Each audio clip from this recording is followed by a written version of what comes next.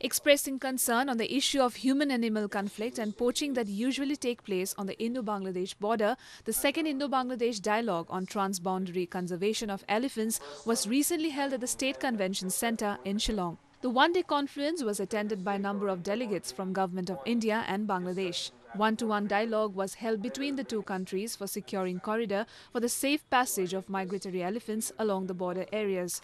The meeting emphasized more on the conservation of elephants in reference to transboundary movement of this animal. India has 30,000 plus ele- elephants. Northeastern states we have 9,000 elephants. So these, these elephants will keep moving. So in fact, when this landscape is contiguous, particularly from Meghalaya, they will go to Bangladesh. But in the due course, what happens? There is a, this border comes along where we have these border guards. Then you have fencing. Then when they go over there, where there is a human-animal conflict is there, and these corridors, how to maintain that, give a safe passage to the elephants, and how to handle the human-elephant conflict when it arises, how to make these people aware of this, how to build the capacity of the border roads. All these things will be discussed. Then we'll have to work out on this. A high-level discussion was also held on smuggling of elephants for captive use, which is a serious concern. The meeting also took note that fencing of the Indo-Bangla border would affect the natural migration routes of elephants and other wild animals.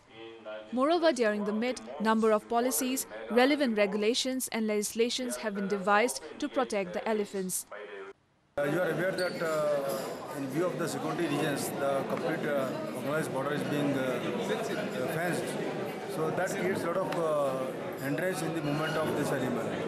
So uh, through a we are uh, trying to facilitate this movement uh, so that this species, uh, which is which is worshipped by Indians, is saved in time to come.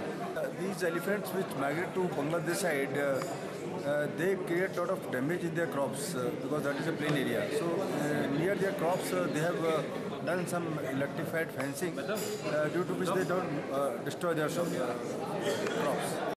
It is worth mentioning that the government of Bangladesh has so far shown strong interest to several international agreements and treaties with India for the conservation of elephants.